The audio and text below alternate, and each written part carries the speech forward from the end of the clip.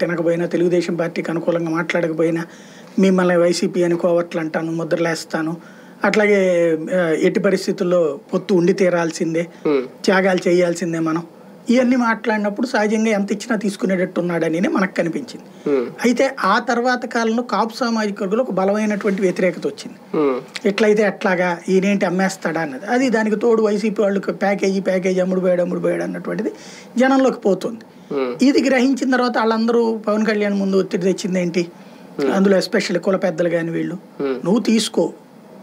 సముచితమైన స్థానాలంటే మినిమం యాభై. మ్యాక్సిమం ఫిఫ్టీ పర్సెంట్ అడుగు. Hmm. పవర్ షేరింగ్ కూడా అట్లా అడుగు. అడిగిన తర్వాత అప్పుడు నీకు కాపులు వస్తారు కానీ Hmm. లేకపోతే నువ్వు పొత్తు పెట్టుకున్నందువల్ల కాపులు నీ వైపుకి వచ్చే ఉద్దేశం లేదు. ఉమ్, అనేటువంటి చెప్పాక ఆయనకి ఒక సందిగ్ధత వచ్చింది. ఇవాళ కనుక పదిహేను ఇరవై వస్తే కనుక పవన్ కళ్యాణ్కి కాపు సామాజిక వర్గ ఓట్లు ఇక్కడ ఒకటేంటంటే ఓటు పోలరైజేషన్ వేరు యాంటీ ఇన్కంబెన్సీ పోలరైజేషన్ వేరు కాపు సామాజిక వర్గ ఓట్ల బదలాయింపు వేరు. కాపులు పవన్ కళ్యాణ్ని రెండు వేల పద్నాలుగులో ఓన్ చేసుకోవాలి? రెండు వేల పంతొమ్మిదిలో కూడా ఓన్ చేసుకోవాలి?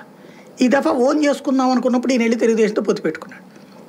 అంటే ఈయన అటుకెళ్ళాడు కాబట్టి వాళ్ళు కూడా తెలుగుదేశానికి వెయ్యాలి. అంతే కదా? వెయ్యాలి అన్నప్పుడు ఈయనకి సరైన గౌరవం ఇస్తే కదా వాళ్ళు వేసేది? ఈయనకి సరైన గౌరవం అంటే ఈయనకి కూడా పవర్ షేరింగ్ ఇస్తానంటేనే కదా వాళ్ళలో ఎక్కువ మందికి ఆశ ఉండేది.